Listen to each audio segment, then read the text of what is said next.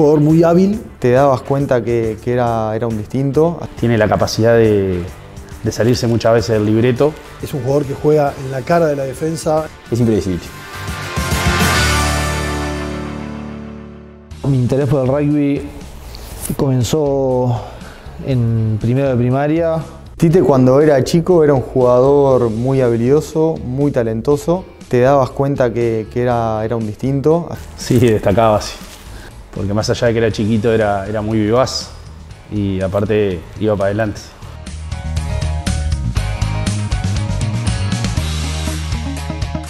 Bueno, Tite en un momento tuvo que elegir entre, entre el fútbol y el rugby. Yo tenía 17 años, 18, tenía muchos a mi alrededor que me decían que tenía que jugar al fútbol.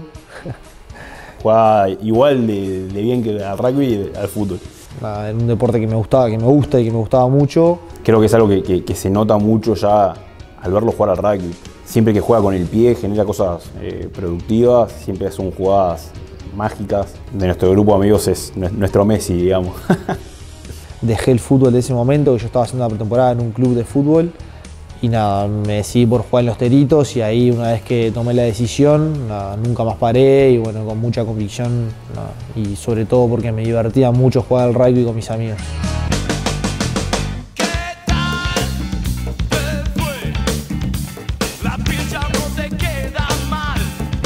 no ha cambiado esa chispa que tiene, esa vivacidad de, leer cosas que otros no vemos. Es un jugador muy hábil, muy técnico, es un jugador que es eh, imprevisible para, lo que, para las defensas, es un jugador que juega en la cara de la defensa. La patada, el juego estratégico, adaptarse al sistema, la madurez de liderar un equipo.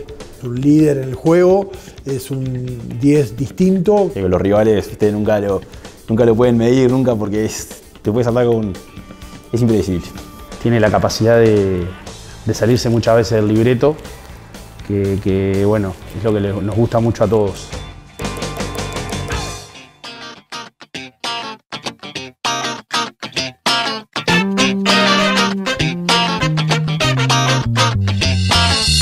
Arranqué el 2020 el profesionalismo, ahí me cuestioné bastante mi, más que nada mi vida, de, de si quería ser profesional, porque se venía Peñarol, contratos y, demás. Me parece que a él le, hizo muy bien poder este, desarrollarse como profesionalmente eh, acá en Uruguay. Es re, recontra valorable estar acá con, pudiendo estudiar, sin lugar a duda de tener a tu familia y a tus amigos y a tu novia acá. Para él es muy importante salir de un partido y ya tener ese encuentro con amigos, con familia, con la novia. Tuve la oportunidad de irme en 2021 a, Estados Unidos y no me fui justamente porque cuando pones en la balanza las cosas, a veces termina dándote un saldo mucho más positivo el quedarte acá por, por el hecho de que no, estás acá con toda tu gente estudiando en un país tan lindo como Uruguay y bueno, la verdad es una oportunidad re linda.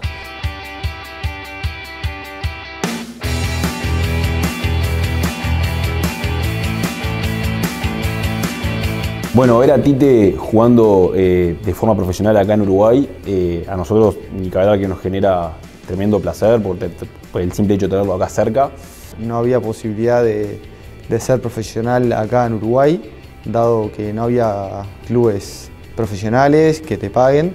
Eh, nosotros estábamos lejísimos, en estructura, en todo. Todo nos hacía estar lejos. Porque la verdad que el centro de alto rendimiento que hay hoy en ese momento no existía. Tiene acá el charrúa donde tiene todas las comodidades, tiene el gimnasio, tiene la cancha, los entrenadores a disposición, tiene el nutricionista, tiene todas las comodidades que, nunca antes se tuvo en, Uruguay. Sin lugar a dudas, jugador que entra ahí se potencia en todos los aspectos. Como es una temporada de seis meses, lo que hace muy bien es que te mejora mucho el jugador.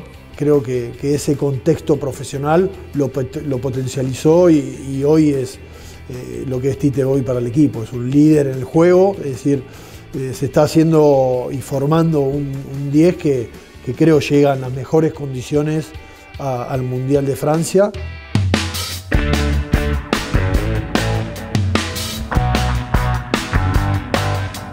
La base de la selección es Peñarol. Es una competencia que nos aportó muchísimo al, desarrollo del rugby eh, de selección. Estando todos los primeros semestres juntos hace que nosotros conectemos mucho más entre nosotros. Tener la posibilidad de, de tener esos jugadores acá, eh, desarrollarlos acá y verlos en, en una competencia como, como, la Superliga, que creo que es una ventaja enorme y creo que en, en Uruguay se, se, han, se han visto esos frutos. Los resultados están, Uruguay clasificó al Mundial, Chile clasificó al Mundial, eh, la región está creciendo bastante. Eh, por suerte vino lo que vino. La verdad que es una alegría enorme y que esté pasando y que se siga avanzando. Y, y creo que la Superliga le, le dio eso a, a, Tite para poder hoy contar con, con Tite como, como, opción de 10 para, para, el Mundial de Francia eh, 2023.